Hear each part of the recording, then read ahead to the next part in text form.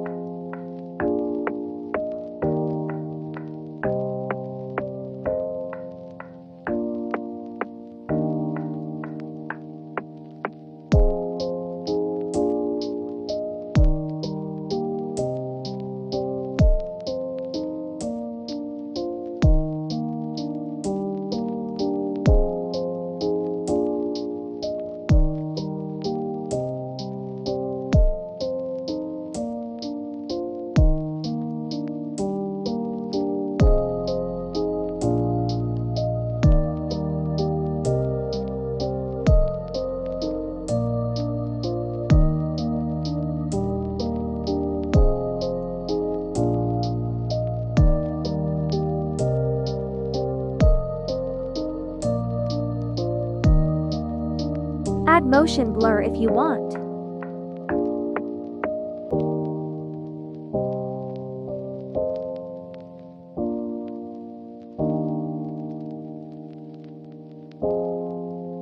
Now let's create a group.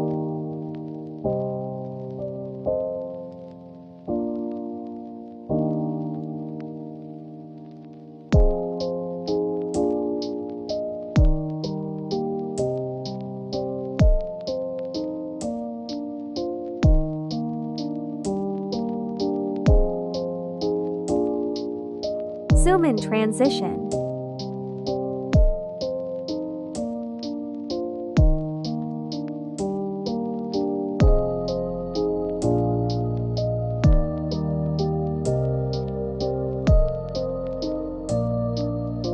Now add the effect flip layer.